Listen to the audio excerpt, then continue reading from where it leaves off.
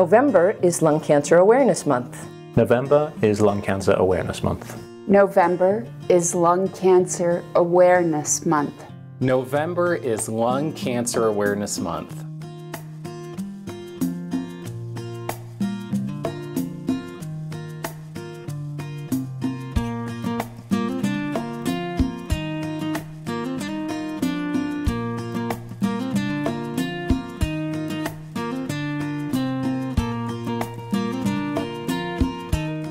For the first time in my 22-year uh, career, I really feel like we're making serious progress with uh, research into, uh, into cure and into at least maybe turning this into a chronic disease.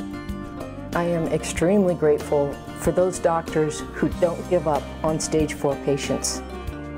I'm grateful for the lessons that many of the patients I look after have, have taught me about how you deal with potentially a terminal diagnosis, not only with dignity, but often with a great sense of purpose.